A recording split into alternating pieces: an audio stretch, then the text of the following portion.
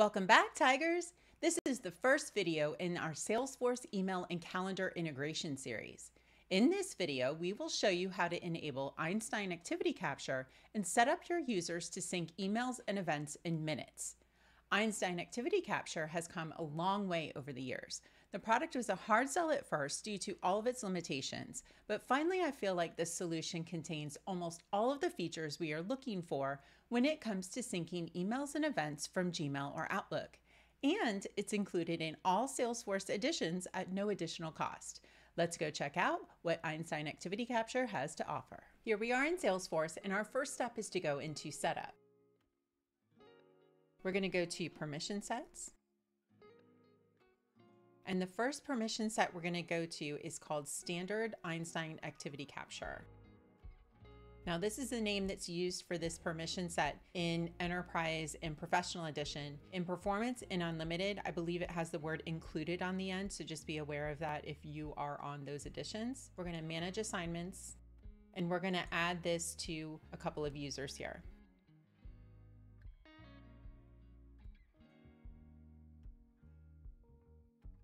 Next, we're going to also add the sales engagement basic user.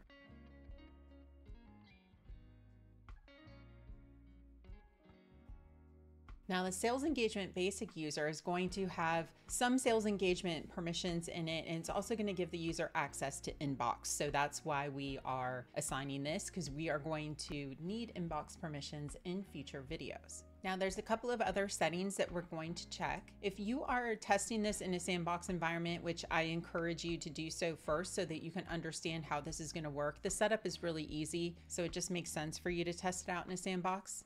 So we're gonna go to deliverability and you'll just wanna make sure that this is set to all email in your sandbox. The other settings that you wanna check are in your activity settings, you will want to make sure that allow users to relate multiple contacts to tasks and events is enabled. The reason for this is because whenever the event syncs from the user's calendar to Salesforce, there could be more than one attendee on it, and you want Salesforce to be able to capture that. So we highly recommend enabling that feature. Next, we're going to go to Object Manager.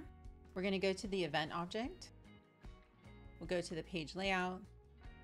And then we're gonna add the attendees field to the layout. And then we'll go to related lists and we're gonna add the name field to the related list. We'll save that. Next, you wanna make sure that you have enhanced email turned on. We'll go to enhanced email and just make sure that it says disable here. That means that you have it enabled. Now we are ready to start enabling Einstein Activity Capture. We're going to go to Einstein Activity Capture and click on Settings, click Get Started. And you'll want to make sure that you review these terms. Make sure you re read all of this and make sure that you're able to accept the terms that are in this agreement. Then we'll click Try Einstein. Then you need to choose what your email and calendar service is. This video is going to be for Google G Suite. And then we're going to do it at the user level. We're going to call this sync events and emails.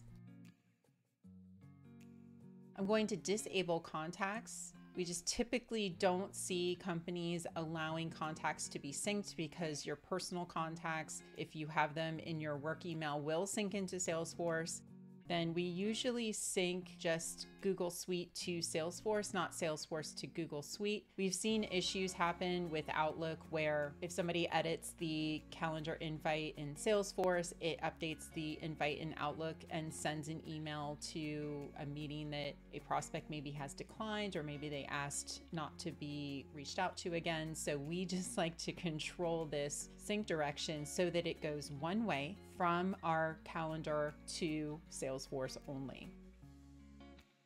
Then here's where you choose how far back you want to go when syncing the emails to Salesforce. You have a lot of different options here. You can go back up to 180 days. Then for events, you have the same option. So you can decide how far back do you want to sync events. So we're going to go back 30 days. You can go back up to 180 then you can leave this unchecked for syncing private events. This could be something personal that a user has on their calendar. You want to sync event series and remove deleted events. You know, this is pretty important when somebody deletes an event from Google. Do you want it to be deleted from Salesforce? That's up to you. Maybe you want to leave it there and have them mark it as canceled. And then relate synced events to Salesforce records. That's the whole point of doing this is we want to prevent our sales teams from having to enter their meetings into Salesforce manually. So when a contact matches multiple contacts in Salesforce, what do we want the sync to do?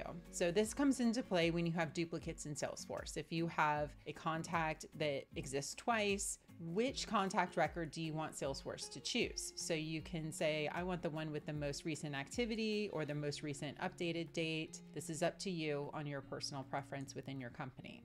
Here is where you're going to see all of the users that you assigned a Einstein Activity Capture license to. Now you'll see that these users have Einstein Activity Capture and Inbox. The inbox comes from that sales engagement permission set that we assigned. So once you move these users over to the selected, that means they've been enabled for Einstein Activity Capture and they can sync their calendar and email. So here we can see a summary of the connection that we just set up to Salesforce. In the configurations tab, you can see the configuration we just set up, and you can see that we can set up more than one configuration. So if you have a team that's kind of wary about syncing emails, you can just set up a sync that's only going to sync their events. I highly encourage you to talk to your revenue teams who are concerned about syncing their emails to Salesforce. All the teams that I've worked with, they have been really scared of turning this on at first. And then they ended up absolutely loving it a couple of months into go live. And it's because they see the productivity increase. They see they don't have to update their meetings manually in Salesforce. They can see everything right from their opportunities and contacts. And the emails are threaded. So the activity history doesn't get as muddled as you think and you can filter the activity history in Salesforce. So I would highly recommend that you encourage your teams to at least sync both events and emails to save them time and to get all that communication on the records in Salesforce if a sales rep leaves, their inbox leaves with them. And all of that history around that deal, around the customers that they're working with, is not captured in Salesforce unless you have this sync turned on.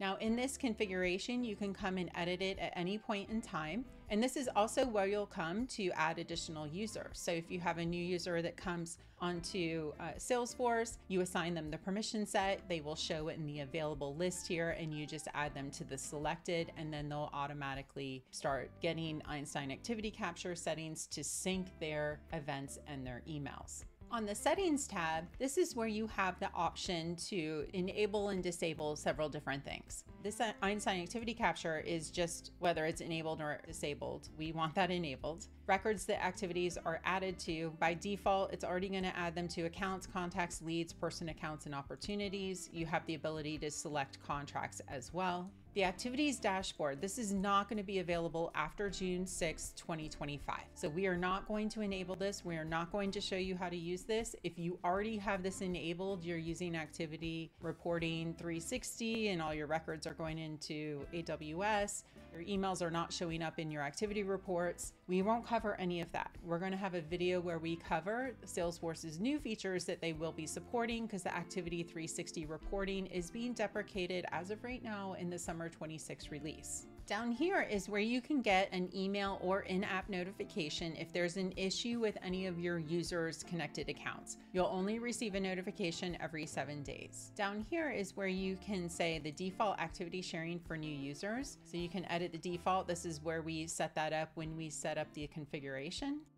And then here we can say activity sharing is shared with non-Einstein activity capture users. This means for some of maybe your senior leadership, maybe they don't have Einstein activity capture and you want them to be able to see the emails that are coming from your sales reps, BDRs, and SDRs, you will need to make sure you have this enabled. Now, a lot of people choose not to sync internal events. Events are considered internal when all attendees are part of the internal domain. So that is up to you whether whether or not you want those to sync. If you are going to use some of the features that we're going to show you in some future videos, like sharing meeting availability, we highly recommend that you do sync internal events because that is what's going to block your calendar for that time. Here's where we can say whether or not we want to include Google Meet details on Google Events.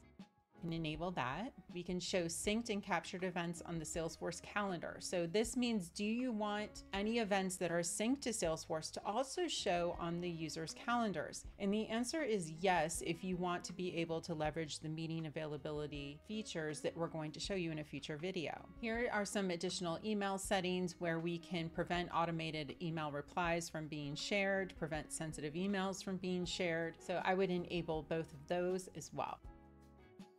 We come over to excluded addresses. This is all of the addresses that we identified in that configuration screen. You can add those at any point in time as you get additional addresses from your teams. Now we're gonna come back over here and we'll see that now we've enabled Einstein Activity Capture. We have a couple of other sections. We have status and metrics and we have Einstein Email Insights. If we go to status and metrics, this is where we'll see how many people that we have configured for Einstein Activity Capture, and then how many people have activated their account. So nobody has currently connected their account.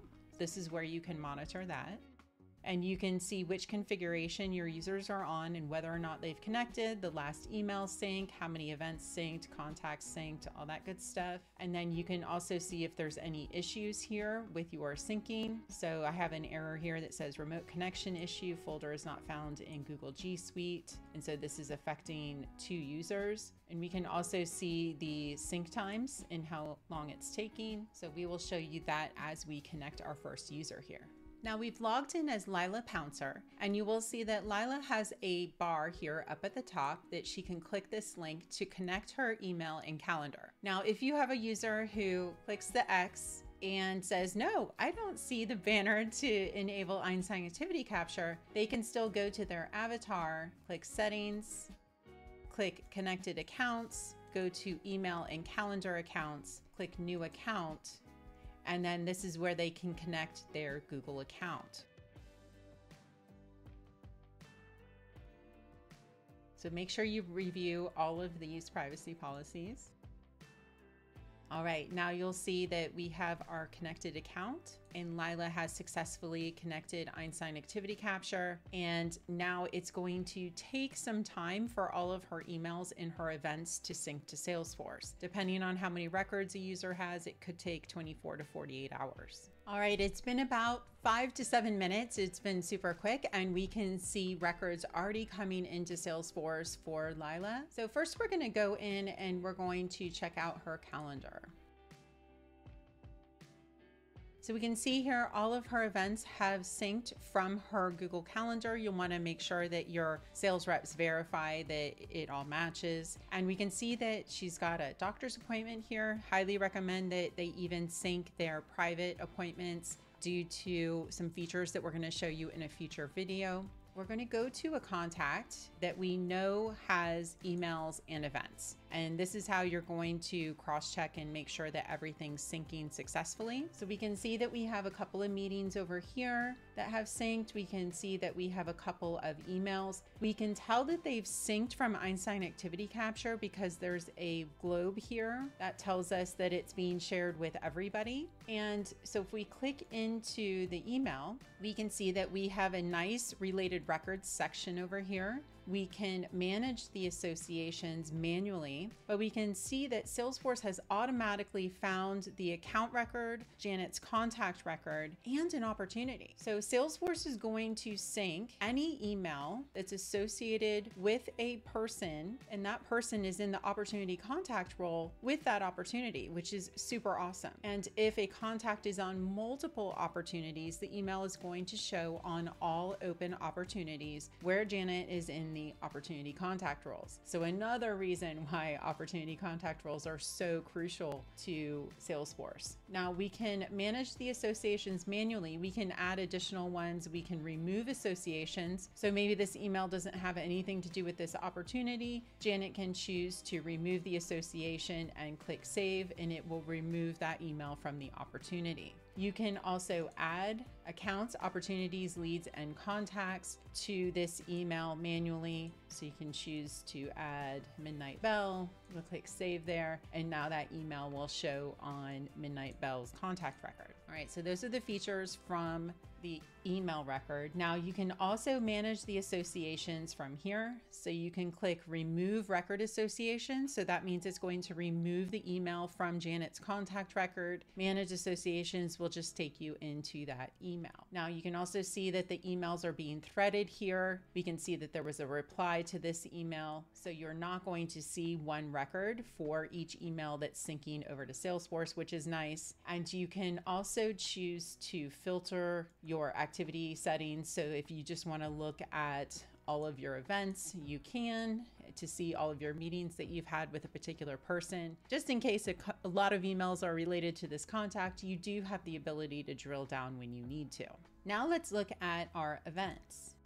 So we can see over here that we have this event that has synced to Salesforce that has the attendees. In the details section, we can see who has accepted and who has declined the event. And then in the related, we'll be able to see a list of the attendees. This is just nice to see if you have a lot of people that are listed on the event. Now, there's a couple of things that I want to mention when it comes to events syncing from your Outlook or Gmail calendar over to Salesforce. If you have a scenario where there's people added to the Gmail Gmail or Outlook calendar event after the event has synced to Salesforce, they're not going to be added to the event in Salesforce. So that is something that we have confirmed with support. The attendees are only added to Salesforce if they exist on the meeting at the initial time of sync. Same goes if somebody was removed from an event in Gmail or Outlook. That person will not be removed from the event in Salesforce. So just keep in mind if one of your users said, my Einstein activity capture isn't syncing,